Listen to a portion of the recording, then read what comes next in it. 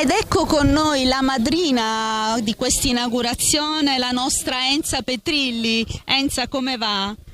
Ah, va bene, va bene, grazie.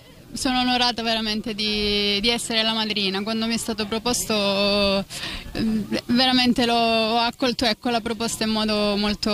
sono stata felice di questo la nostra campionessa paralimpionica e abbiamo insieme con lei lo scrittore eh, Michele Caccamo di Taurianova, anche lui presente per questa meravigliosa quinta edizione dell'Infiorata di Taurianova.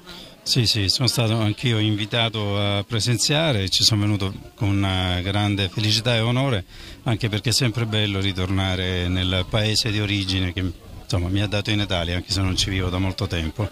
Dove vive adesso? Io vivo a Roma però tornare dove ci sono le radici, penso che le radici tirano. Sì, certo, assolutamente, poi anche ritrovare il posto dove sono nato, andare a vedere quel vicoletto, il mio quartiere, insomma è veramente un'emozione grande.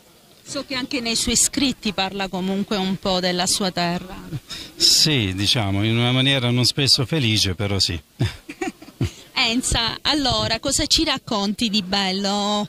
Oltre alle tue che ti ammiriamo sempre nelle tue performance? Eh, adesso a breve partirò per, per, i mondiali sperando di poter eh, eh, recuperare il pass per andare a Parigi a fare le prossime Paralimpiadi. Quindi è un'estate molto, sono, sarò molto impegnata in quest'estate con delle gare, sì, delle gare internazionali. E invece di libri cosa dobbiamo dire?